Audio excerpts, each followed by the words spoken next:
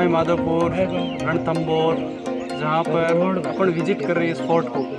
अपन आए त्रिनेत्र गणेश मंदिर, जिन्हें कहते हैं रणत भंवर और इस दुर्ग को कहते हैं रणथम्बोर रणथम्बोर अर्थात इसके दो अर्थ है। एक तो ये कि इसकी जो निर्माण कार्य है, वो हुआ है दो पहाड़ियों पर। एक रण और एक थम इसलिए इसको रणथम्बोर कहा जाता है। और दूसरा इसको कहा जाता है कि जो रण की तरफ़ देखकर जो भोर हो रही है, सुबह हो रही है, इसलिए इसका नाम है रणथम्बोर तो ये दो अर्थ हैं जो विद्वानों ने बताई इतिहासकारों ने बताई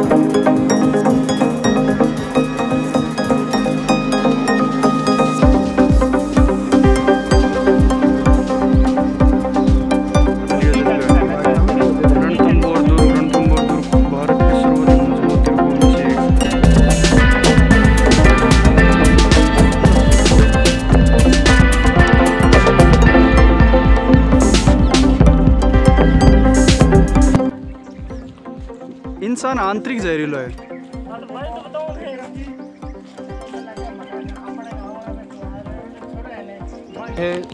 त्रिनेत्र गणेश मंदिर।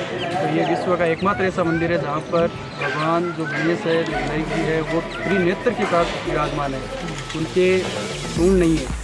और ये इसलिए है क्योंकि जो तीसरा नेत्र है, वो बुद्धि का नेत्र माना गया है। दो चक्षु अर्थात नेत्र है, वो केवल दृष्टि नेत्र है, जबकि एक जो तीसरा जो नेत्र है, वो एक दिव्य दृष्टि का है, ज्ञान का है, इसलिए। इसलिए यहाँ पर लंबोदर अपन कह सकते हैं कि वो नहीं है। तो ये था, इसके पीछे भी कहानी ये है कि हमीर जब चारों ओर से गिर चुका था विकट समस्याओं में, तब अलाउद्दीन ने यहाँ पर दो साल के लिए घेरा डाल के रखा था। तब हमीर को लगा कि मेरी जो रसद पानी है, वो कमज़ोर है या यूँ कह सकते हैं कि वो पूरी होने वाली है। तब उसको सपने में विनायक जी महाराज ने दर्शन दिया और कहा कि तू मेरी आराधना कर, क्योंकि वो उनके इष्ट भी थे। इसलिए हमीर ने उनको याद किया और रात को वो सफ़र में आए और उन्होंने कहा कल मेरी मूर्ति है, तेरे को यहाँ दिखाई भी देगी। और तू फिर मेरी विराजमान, मेरे को यहाँ विराजमान कर देना और तेरे जो भंडार है भरे रहेंगे। इसके बाद अगले दिन वैसा ही हुआ। मूर्ति प्रकट हुई, उनके विराजमान उनको कर दिया गया और इस प्रकार त्रिनेत्र गणेश मंदिर है उनकी स्थापना हो गई और वो त्रिनेत्र में उसी प्रकार प्रकट हुए थे। तो ये थी त्रिनेत्र गणेश मंदिर की और अब अपन वहाँ देखते हैं कि क्या उनकी आस्था है, क्या है।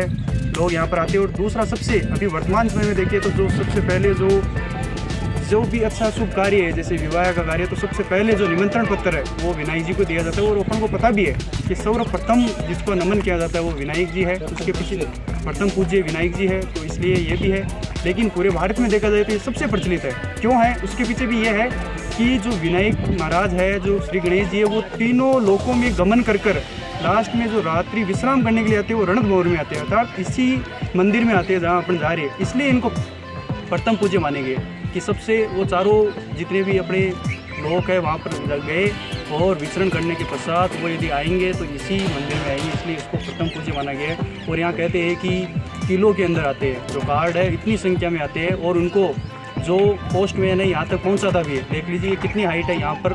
डेली यहाँ पर निमंत्रण है, जब भी शुभ कार्य होते हैं तो उनके निमंत्रण यहाँ पहुँचाए भी जाते हैं। ये इसका इतिहास, जो अपन अभी देखेंगे, अंदर जाके। धन्यवाद।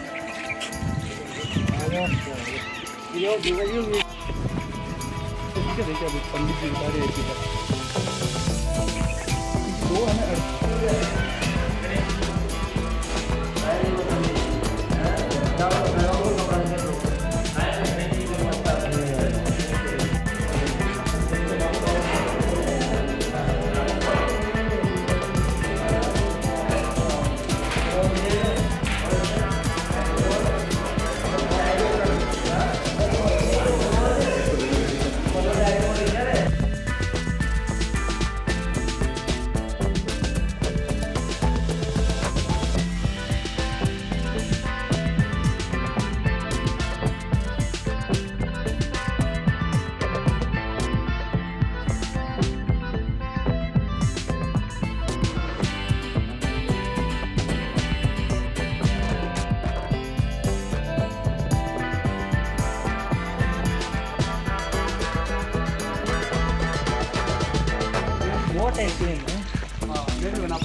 दिल गार्डन गार्डन हो गया।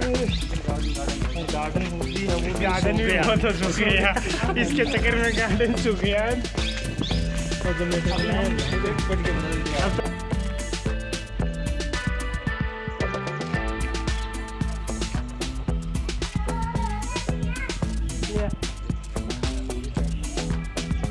गणेश जी का दर्शन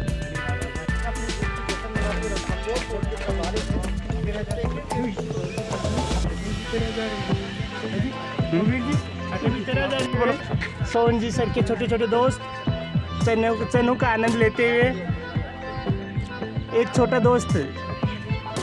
बड़े ध्यान से सोन जी की ओर।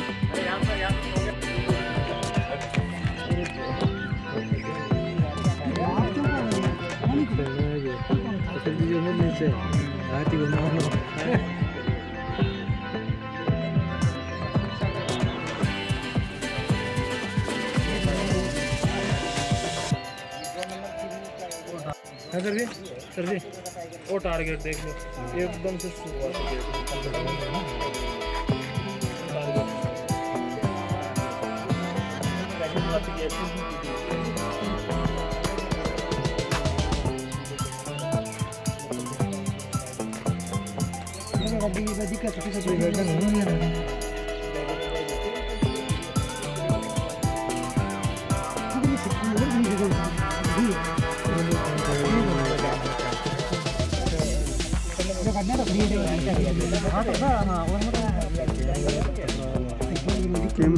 लो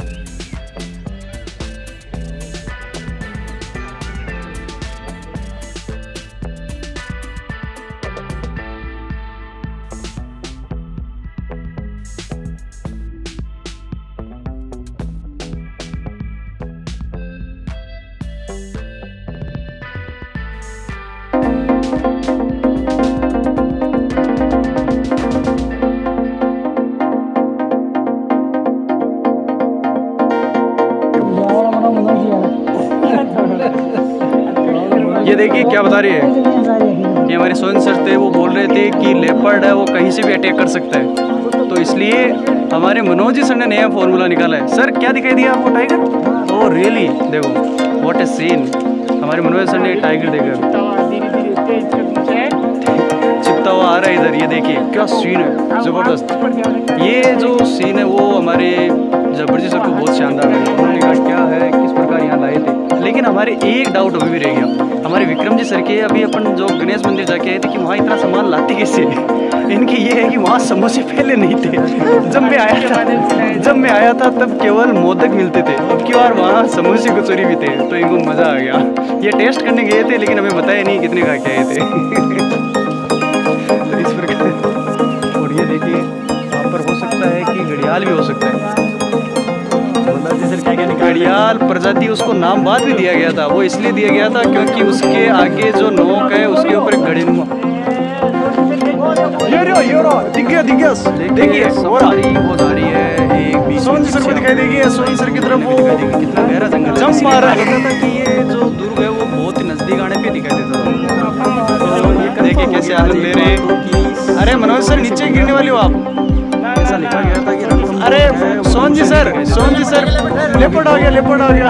ऊंचाई पे इसलिए ऐसा लग रहा है। वो देखिए दूर।